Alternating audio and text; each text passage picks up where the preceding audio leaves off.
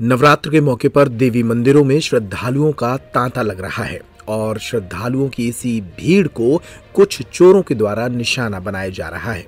छतरपुर से एक घटना सामने आई है, जहाँ एक बुज़ुर्ग महिला के गले से उसकी सोने की चेन उड़ा दी गई। मामला कोतवाली थाना क्षेत्र के खेरे की देवी मंदिर से सामने आया है, जहाँ सुमित्रा साहू नाम की एक बुज़ुर्ग महिला देवी मंदिर में माता के दर्शन करने गई थी। इसी दौरान दो लड़कियों ने उसके गले से सोने की चेन उड़ा दी। इस चेन की कीमत लगभग चालीस हज़ार रुपए बताई गई है।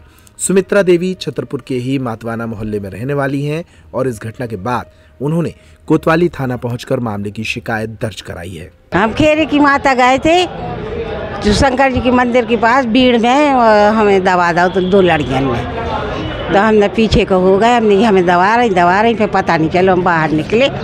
तो घटना कितने हाँ, दस बजे। हाँ, क्या हो गया? फिर दबा दिया उन्होंने क्या हो गया? तो हमने कहा कि हमारा गला दबा रही फिर हमने बाहर निकल के देखी तो हम ये माला ही नहीं है। माला थी चैन थी क्या थी? नहीं माला थी वो बाईस मोती थे। जवा के वो ग्यारह बजे हाथी गोल वाली माला थी। माला थी। हाँ सोने की थी। क्या? हुआ गिरा है कि छीनी है? छीनी है तान ली है। लड़कियों ने दो लड़कियाँ थी खुले सिर में। मंदिर के अंदर? है? कहाँ पर थी लड़कियाँ? वहीं खेरी की माता में।